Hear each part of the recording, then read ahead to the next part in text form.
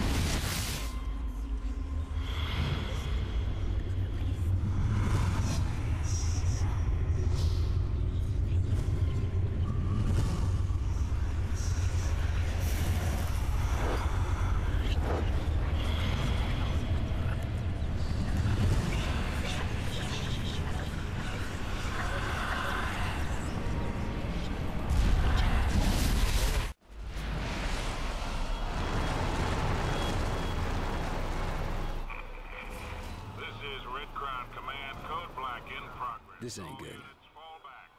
There is only one reason for Blackwatch to pull out of Manhattan. They're gonna purge the entire island.